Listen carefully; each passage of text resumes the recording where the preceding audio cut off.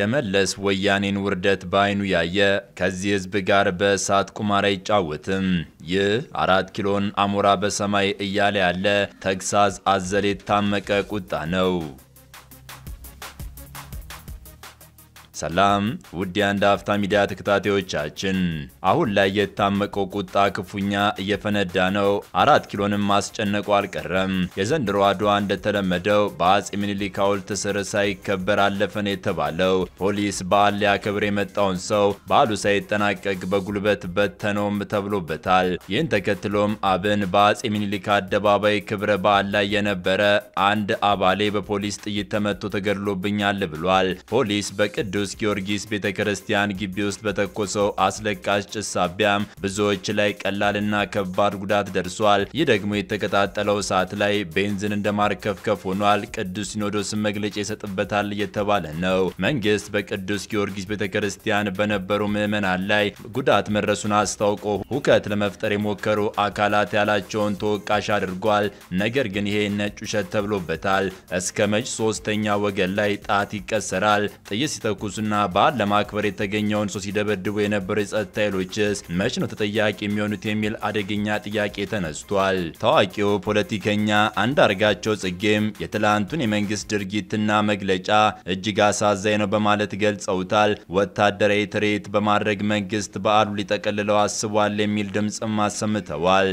ውድ የአንድ አፍታ ሚዲያ ተከታታዮቻችን በዚህ ጥንቅራችን የ127ኛ የአድዋ ድል በዓል አከባበር ድባብና ተያያዥ ጉዳዮችን ከመጋረጃ ጀርባ ገለጥ አድርገን እናያለን። አብራችሁን ሆኖ ሰናይ ቆይታ። የአድዋ ድል ለየት ያለ በዓል ነው። በግብሩም ሆነ በተጽዕኖ ለመላው ጥቁር ሕዝብም ትምህርታዊ ድል ነው። የነጭን እብሪት፣ የነጭን ትዕቢት ትቢያ ያደረገ ታላቅ ድል ነው። አድዋ ከዛ ቀደም እንደነበሩት ጦርነቶች ተራ ጦርነትም አይደለም። በእርግጥ የጦርነት ትንሽ የለውም። ነገር ግን አድዋ እጅግ የገዘፈ ታላቅ ድል መሆኑን ዓለም መስክሮለታል።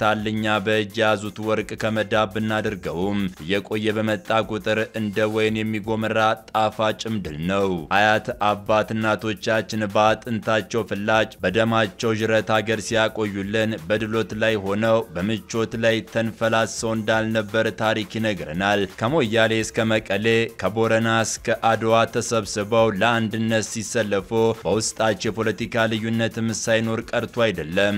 ነገር ግን ጥያቄው የሀገር ጉዳይ ነውና ለልጅ ልጆቻቸው ሲሉ ሀገርን አቆሞ እኛ ግን ሀገሯንም እስከ ታሪኳ ወደ ትቢያ ለመ ወርወር እየተሯሯጥን ነው። የመጣባቸው ጠላት ልማድ የሚያስቀይር ባህል የሚያጠፋ ሃይማኖት የሚበርዝ መሆኑን ቀድሞ ገብቷቸው ነበር። ለትግሬ የመጣ ለኦሮሞ እንደማይተኛ አማራን ያጠፋ ወላይታን እንደማይምር ከጅምሩ ገብቷቸው ነበር። ጠላትን በሚገባ ተረድተው ስለነበር ጥሩ መረዳት ላይ ስለነበሩ በአንድነት ቆመውም ወጉትም አሸነፉትም። ዓለምን ባስደነቀ በተለይ የነጭን ዓለም ባስደመመ ወኔ ወራሪውን ጣሊያን ድባቅ መቱት። በአጭር ጊዜ ዘመናዊ ነኝ ባይ አምስት ጀነራሎችን ከአፈር ደባለቃቸው። ቀደምት እናቶች አባቶቻችን ለራሳቸው ታላቅ ክብር ነበራቸውና በታላቅ ተጋድሎና ወኔ ለሀገራቸው በክብር ወደቁ።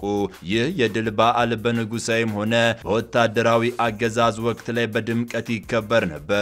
በዓሉን በሚመጥን መልኩ የሀገሪቷ ንጉሥ ወይንም ርዕሰ ብሔር በተገኙበት ይከበር እንደነበር የታሪክ ድርሳናት ያሳያሉ። የደርግ ወታደራዊ መንግስት ወድቆ የብሔር መብት አስከባሪ ነኝ የሚለው ኢህአዴግ የተባለው ስብስብ ወደ ስልጣን ሲመጣ ነገሮች መለወጥ ጀመሩ።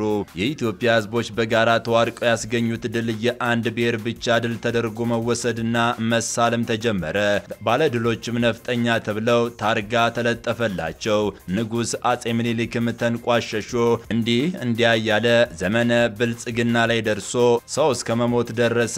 ዓለምም መሳለቂያ ያደረገን 127ኛው የአድዋ ድል በዓል በሐዘንና በቁጭት ማለፉ ታይቷል። ሁለት ቦታ ተከፍሎ የካድሬና የህዝብ በሚልም ተከበረ።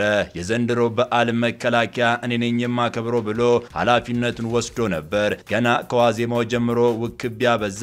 ወጣቶች ከየሰፈራቸው መታፈስ ጀምሮ የአጼ ምኒልክ ቲሸርት የሚሸጡ ሱቆች መታሸጋቸው፣ ማተሚያ ቤቶች ማስፈራሪያ በተደጋጋሚ ተሰማ። የዕለቱ ክብረ በዓል ሁለት ቦታ ተከፍሎ አለ። አንደኛው የህዝብ አንዱ ደግሞ የወታደር ገጽ ለብሶ ታየ። ህዝቡ በአጼ ምኒልክ አደባባይ ተሰብስቦ ወደ ሐውልቱ እንዳይጠጋ በወታደር ተከለከለ።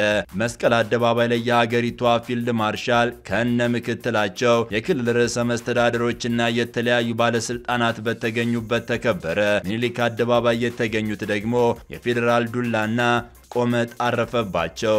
በአድማ በታኝ አስለቃሽ ጭስ ታፈኑ። መንደር ለመንደር እየተሳደዱ ተወገሩ። ሕፃናት፣ አረጋውያን ሳይቀሩ ተሰቃዩ። ከቀላል እስከ ከባድ ጉዳት ደረሰባቸው። ሕፃናትና ሴቶች በየጥጋ ጥጉ ራሳቸውን ስተው ታዩ። በፈረስ ላይ የነበረ ሰላማዊ ዜጋ በራሱ ሰው በፖሊስ ሰደፍ ተመቶ በአሰቃቂ ሁኔታ ሲወድቅ ያለው ምስል በማህበራዊ ሚዲያ ላይ የተሰራጨ ነው። ልክ ጣሊያን ከጀርባ መጥቶ እንደወጋው ይህም እንደዛውን የሚል አደገኛ ነገርም ተነስቶበታል። በአብዮት አደባባይ አሊያም በመስቀል አደባባይ የሀገሪቱ ባለስልጣናትና ደጋፊዎቻቸው ወታደራዊ ትርኢት እያዩ የመሳሪያ ሰልፍ እየኮመኮሞ የተዋጊ ጄቶችን ዳንስ እያዩ ሲፍለቀለቁ ዋሎ። በተቃራኒው የአጼ ሚኒሊክ አደባባይ ላይ የህዝብ ለቅሶና ዋይታ ታየ። የሁለት ዓለም ሰዎች የሚል ገጽ ምን የተሰጠው አንደኛው ሲስቅ ሌላኛው ያለቅሳል። ነገር ግን ጊዜ ይፈርዳል የሚለው አሁንም እንዳለ ነው። በቅዱስ ጊዮርጊስ ቤተ ክርስቲያን ግቢ ውስጥ በሃይማኖታዊ ስርዓት ላይ በነበሩ ምዕመናን ላይ አስለቃሽ ጭስ በተደጋጋሚ ተተኩሷል። ሃይማኖታዊ ስርዓት ሳይጠናቀቅ ተበተነ። ዲያቆናትና ካህናቱ ተጎሳቆሎ ታቦተ ሕጉም ቅዳሴ ስነ ስርዓቱ ሳይጨረስ ነው ወደ መቅደስ የገባው ተብሏል። በዚህም የተነሳ አሁን ላይ ቅዱስ ሲኖዶስ መግለጫ እንደሚሰጥ እየተገለጸ ነው። የአድዋ ድል አድማቂ ሆነው ብዙዎችም የሚወዱት አርቲስት ሚካኤል ሚሊዮን በንዴት እንዲህ በማለት ነው በቢቢሲ አማርኛ ሁነቱን የገለጸው። ዘንድሮ ሰው ወደዚያ እንዲጓዝ አልፈለጉም። ቀድሞውኑም አደባባይ ላይ ብዙ ሰው እንዲኖር የፈለጉ አይመስለኝም ነው ያለው። የአደባባዩ አምስቱ በሮች መዘጋታቸውም ወደ አደባባዩ ብዙ ሰው እንዲደርስ አልተደረገም ያለው አርቲስቱ በስድስተኛው በር ብቻ ነበር የተከፈተው። አስለቃሽ ጭስ የተኮሱትም የአደባባዩን ፕሮግራም ቶሎ ለመበተን ይመስለኛል ብሏል። ሶስት ህጻናት ልጆቹን ይዞ በክብረ በዓሉ ላይ የተገኘው አርቲስት ሚካኤል ሁኔታው ለልጆች ከባድ እንደነበር እንዲህ በማለት ነበር የገለጸው።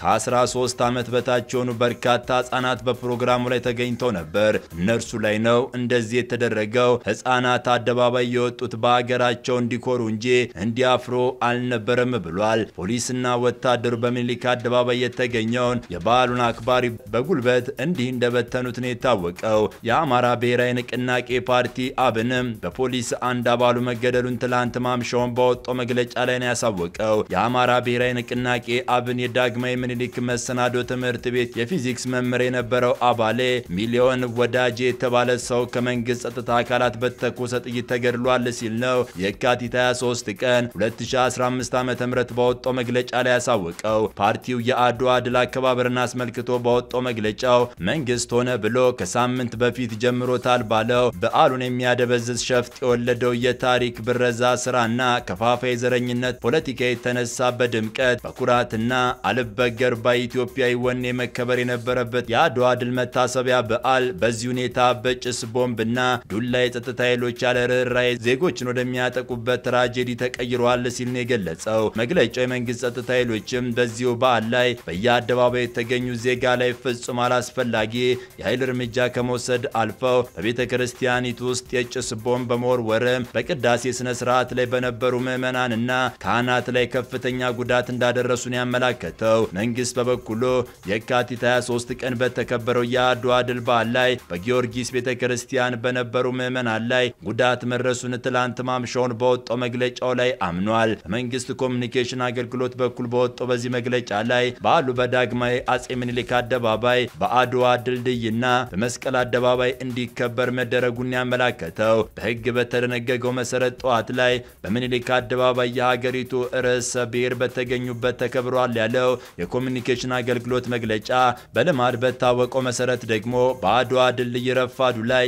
የዘማቾች ጉዞን በሚያሳይ መንገድ መከበሩን ጠቁሟል። ጨምሮም ህዝባዊና ወታደራዊ ትርኢት በሚገባ ለማከናወን ምቹ ነው ባለው በመስቀል አደባባይ ደግሞ የሀገሪቱ ርዕሰ ብሔር፣ የክልል ርዕሳነ መስተዳደር፣ የመከላከያ አዛዦች፣ የጸጥታ አባላትና ህዝብ በተገኘበት እንደተከናወነ ምን የገለጸው። ይሁን እንጂ በአጼ ምኒልክ አደባባይ በተከበረበት ወቅት ላይ ይህ መሰል ሀገራዊ ክንውኖች እንዳይሳኩ የሚፈልጉ ያላቸው ነገር ግን በስም አሁንም ያልጠቀሳቸው አካላት ሁከት ለመቀስቀስ ሞክረው እንደነበርን ያመላከተው። እነዚህ አካላት ያላቸው ታዲያ የአደባባዩን በዓል መረበሽ ሲያቅታቸው በቅዱስ ጊዮርጊስ ቤተ ክርስቲያን የሚደረገውን ሃይማኖታዊ በዓል ለመረበሽ ሞክረዋል ያለው መግለጫው የጸጥታ አካላት ሁከት ፈጣሪዎችን ለማስታገስ በሚያደርጉት ጥረት ላይ በቤተ ክርስቲያኒቱ ውስጥ የነበረው ሃይማኖታዊ በዓል ሊስተጓጎልና ለሃይማኖታዊ በዓል የመጡ ምዕመናን መጠነኛ ጉዳት እንደደረሰባቸው ነው የገለጸው። መንግስት ስለ ትላንቱ ችግር ያወጣው መግለጫ የማህበራዊ ሚዲያ ላይ ተቃውሞና ትችት በርትቶበታል።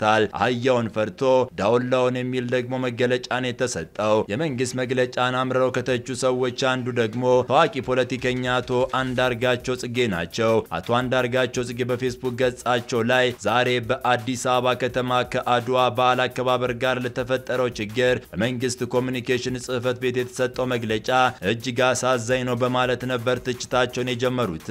በመቀጠልም አቶ አንዳርጋቸው የሆነውን በአይናችን አይተናል፣ ጆሮአችንም ሰምተናል። እንደተለመደው ችግር ለመፍጠር ሲያሴሩ የሚለው ቃል እንደኔ አይነቱን የሚመለከት ከሆነ መጪውን ዝም ብሎ ማየት ነው። ካልሆነ ግን መግለጫውንና እውነታውን የሰማይና የምድር ያህል የተለያዩ ናቸው ብለዋል።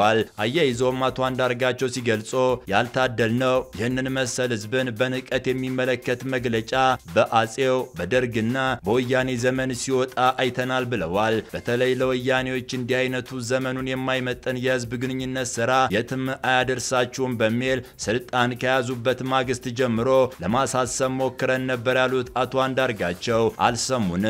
ወያኔም ሆነ የቀደመው ሁለት መንግስታዊ ስርዓቶች መጨረሻቸው አላማረም ያሉት አቶ አንዳርጋቸው እረተው በማለት ምክርና ተግሳጻቸውን ሰጥተዋል። አሁን ላይ በማህበራዊ ሚዲያው ጨምሮ መንግስት እያደረጋቸው ያለው አይን ያወጣ ስራዎች ደግሞ መንግስትና ህዝብን ሆድና ጀርባ አድርገዋል። አንድ አፍታዎች ነን። ሰላማችሁ ይብዛ። አገራችን ኢትዮጵያን ከክፉዎች ሴራ ይሰውርልን። በደህና ቆዩን። ጤና ይስጥልኝ። የተለያዩ የኢትዮጵያ ዜናዎችን፣ ትኩስ መረጃዎችን፣ የመዝናኛ ፕሮግራሞችንና ልዩ ትንታኔዎችን ለማግኘት subscribe ያድርጉን። እናመሰግናለን። አንድ አፍታ ሚዲያ